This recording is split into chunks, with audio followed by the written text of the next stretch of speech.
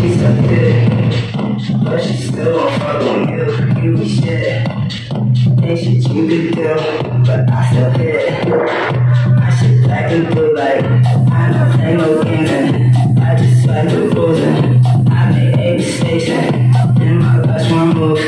Dirty back, I got back.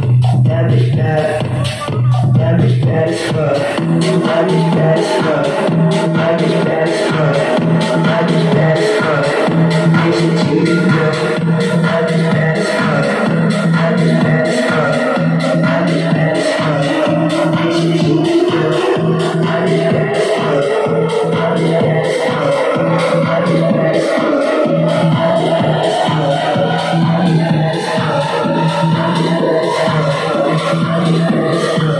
But I still hit.